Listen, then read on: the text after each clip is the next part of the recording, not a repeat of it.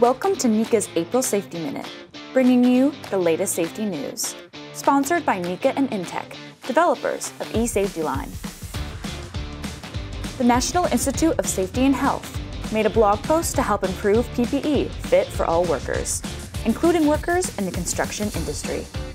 This includes fall harnesses, safety shoes, safety glasses, hard hats or helmets, earplugs or muffs, and respirators.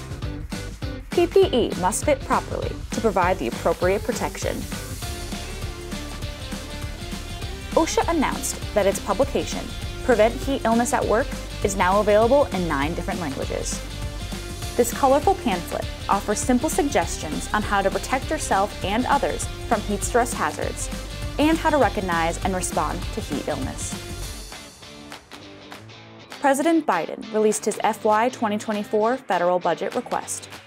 The White House is seeking a 17% funding increase for OSHA under the Department of Labor's fiscal year 2024 budget request.